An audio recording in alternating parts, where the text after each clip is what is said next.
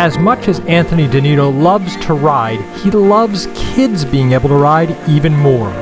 A real estate agent by trade, Anthony has found his true calling in customizing bikes for physically challenged kids who could otherwise never ride, and then donating the bicycle to the needy family. Anthony and I have been selling real estate for almost 20 years, and I've always known him to be happiest when he's able to do something for someone else. DeNito's Ride for Kids gives them that opportunity to help someone else. I was talking to Fred about Joshua and how we want to get him a special bike so that he can get the exercise and therapy that he needs. And Fred basically wrote a blank check and said, I want to pay for Joshua's bike.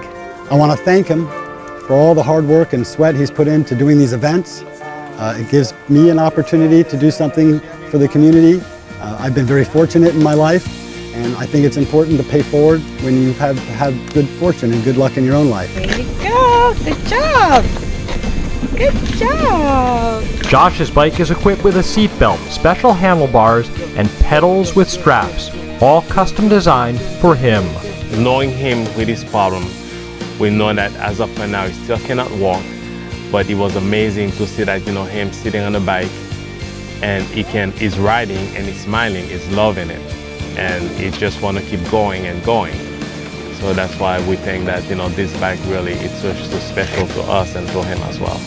Tony and Fred, again, um, we can't thank you enough.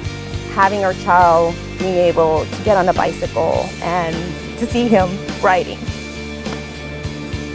Thanks a million. They just don't know how much joy that they had brought to us and to him.